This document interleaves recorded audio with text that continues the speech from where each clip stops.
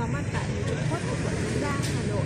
Hôm nay đã là 27 Tết rồi, nên mọi người đang tấp nập đi mua quất về trưng Tết. Quất có luồng sinh khí tốt là biểu hiện của sự quây quần no ấm. Những người chơi quất khó tính phải chọn cây sao cho có đủ quả chín, quả xanh, hoa và lộc. Ý nghĩa là tứ đại đồng đường, sung túc sung vầy và sinh sôi nảy nở.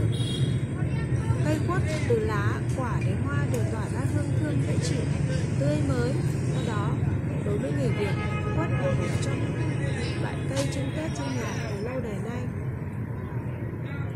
Trước đây quất chỉ trồng dưới đất, từng gốc cây được cắt tỉa gọn gàng như hình, hình nón. Bây giờ, thú chơi quất Tết lại theo hướng dáng quất bonsai, loại cây nhỏ được uốn tỉa theo thế hoặc tán phát triển tự do. Một số thú quất có ý nghĩa như long phượng, mẫu tử, thư, tự tử, thức lộc thọ, tam đa mẫu tử. Tùy vào sở thích, không gian là kính rộng hay hẹp và vị trí đặt cây quất mới có thể tư vấn chọn một cây quất bonsai từ ngày càng cao càng đẹp.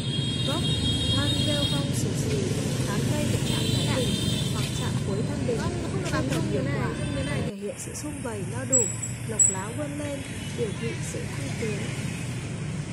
Giá quất chơi tết năm 2020 rất khác nhau tùy theo từng gốc nhỏ có giá tầm 100.000 đồng.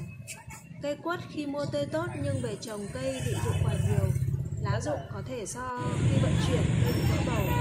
Ngoài ra khi trồng, bạn tưới nước quá nhiều, Không nước thoát được, sẽ có cây bị thối rễ chết dần Để tránh gặp cái tình trạng này, khi chơi quất Tết, Bạn nên chọn cây có nguyên vẹn đầu Trồng cây vào trong chậu có miệng rộng ngang đầu tạo khe hở.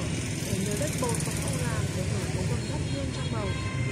chậu, bạn nên đặt một lớp xỉ than, không vụ là bé nước, sau đó mới cho cây lên trên. Điều này giúp cho lớp cuối cùng của cây thoát nước tốt trong ống ngập và khi tưới cho cây thì bạn nên dùng bằng bình xịt. Thay vì là rộn nước lên cây để làm cho cây bị tưới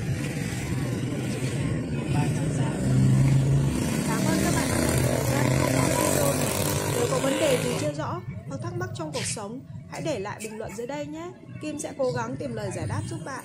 Xin chào và hẹn gặp lại các bạn trong video tiếp theo.